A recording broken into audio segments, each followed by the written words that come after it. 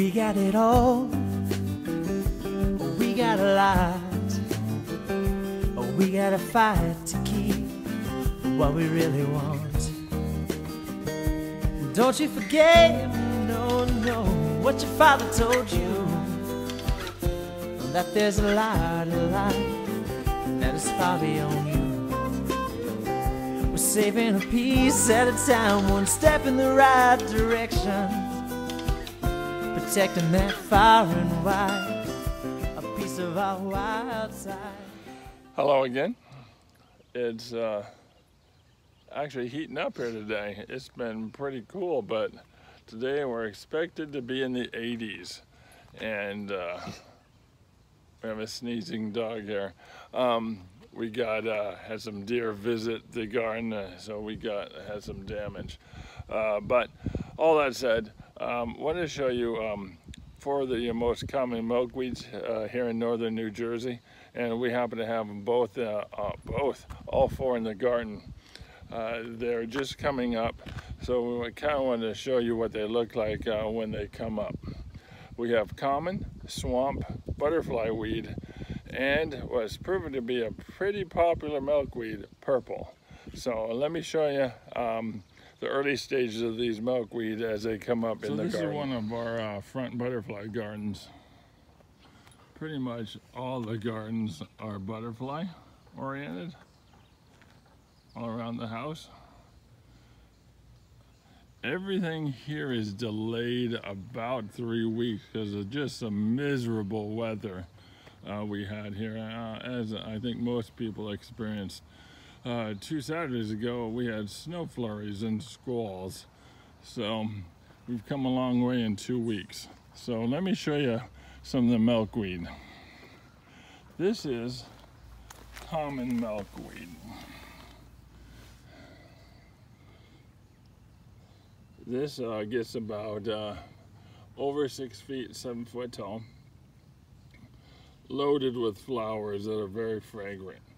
Um, as you can see, this is coming up right next to the sidewalk. We like to keep it back here.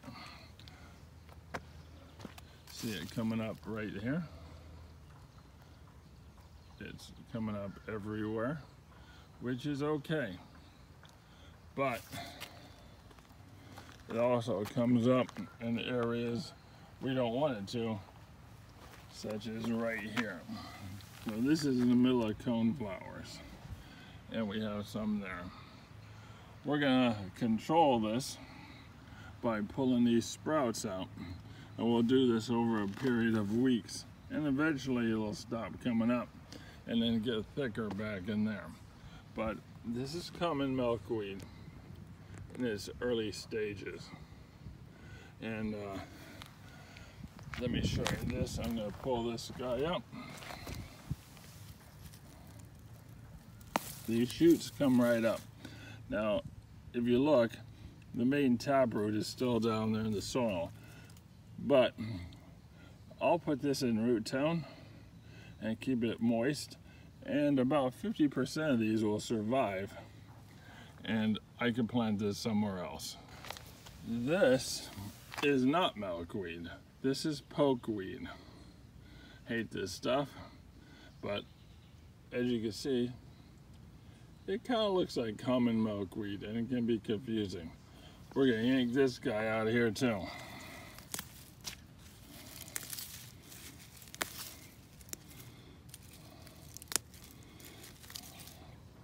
Gonna have to get some uh, Epsom salt and uh, vinegar. And this is swamp milkweed. While common milkweed can be a thug in the garden, and uh, while a lot of people say it's uh, too aggressive, as you saw, we uh, easily pulled up the new sprouts to control the spread. Swamp milkweed does not spread by roots. It's a clumper, and you could divide the clumps as they get larger. This here is right next to our mailbox, and this, uh, I didn't plant here, but we're gonna leave it here. It's here with a, a Liatris. I think I said that right. Uh, it's the one I misspell, uh, mispronounce all the time. Uh, but this is swamp milkweed. And uh, this will get a, just under six feet tall, nice pinkish flowers. But um, the monarchs uh, love the swamp milkweed in the common. This is uh, uh, by its name, uh, likes uh, some wet feet. But here is in a regular perennial garden, and I've seen it growing in sandy soil as well. This is butterfly weed.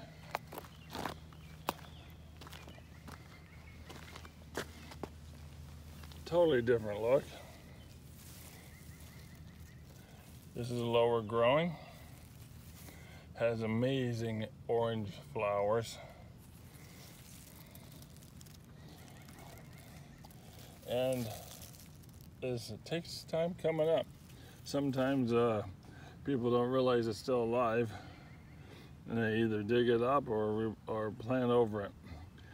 Be patient, give it time because these weren't here four days ago. And look how tall they are already. This is gonna be a clumper. This is gonna be uh, about three feet tall and about as wide.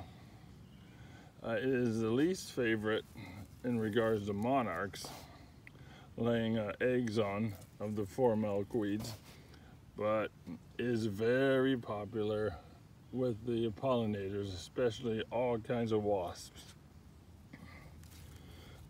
it tends to like uh, a soil that drains fast and is a little drier. But this is butterfly weed. In this butterfly garden, we have purple milkweed, and he's harder to see. Uh, a few years ago, maybe I think four years ago, we had some seed that we uh, actually got three seedlings to grow.